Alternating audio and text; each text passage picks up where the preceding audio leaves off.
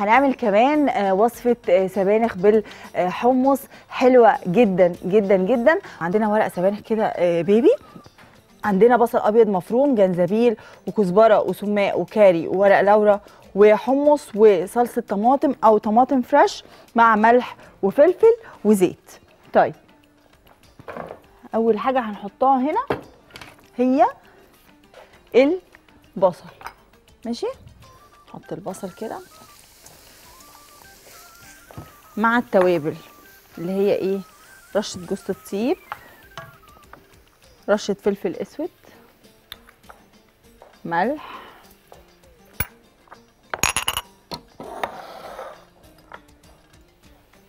كركم.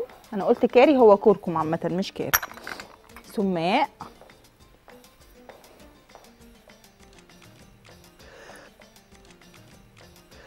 كزبرة. شايفين كمية التوابل. الحاجة الوحيدة اللي مش هنحط منها كتير هي الجنزبيل معلقة صغيرة.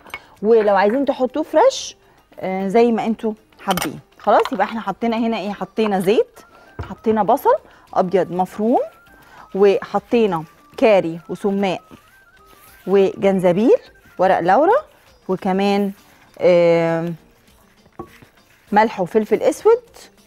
خلاص ورشة جوز الطيب. هنقلب كده بس هي محتاجة زيت تاني صراحة.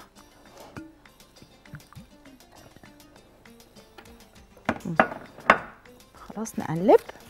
واسيبهم بقى لحد ما ما البصل يستوي جوه التوابل دي.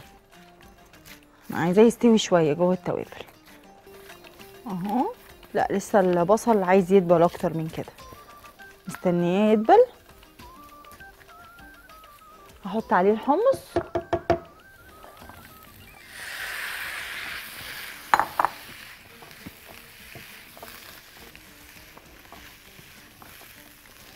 اهو. بصوا. نقلب نقلب كل التوابل دخلت مع البصل مع ورق اللوري مع الحمص. هنسيبهم كل اللي أنا هعمله هعمل إيه بقى؟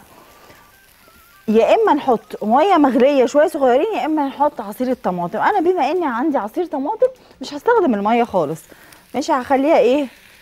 كلها كده. ماشي؟ هشوف محتاجة في الآخر خالص حبة مية هقوم حطاها الريحة جميلة جدا. فكرة جربوا الوصفة دي هتتبسطوا منها قوي. طب اللي بيحب بقى اللحمة ولازم ياكل لحمة مع الأكل دي ممكن تليق معاها. هي مكعبات لحمة صغيرة اللي هي بنسميها راس العصفورة يا إما لحمة مفرومة. شايفين السبانخ دي؟ هت... هنرجع نلاقيها كلها هبطت. بصوا نعمل كده. السبانخ اللي بالكاري وجوز الطيب البهارات بتاعتنا السماق البصل ال- كمان الحمص السبانخ الطماطم المبشورة أو عصير الطماطم أو صلصة الطماطم زي ما أنتم حابين. أنا مش بقول كده والله بجد بس هي فعلا فعلا ريحتها حلوة قوي. دي تتاكل جنب رز أبيض؟ بجد لطيفة جدا جدا جدا.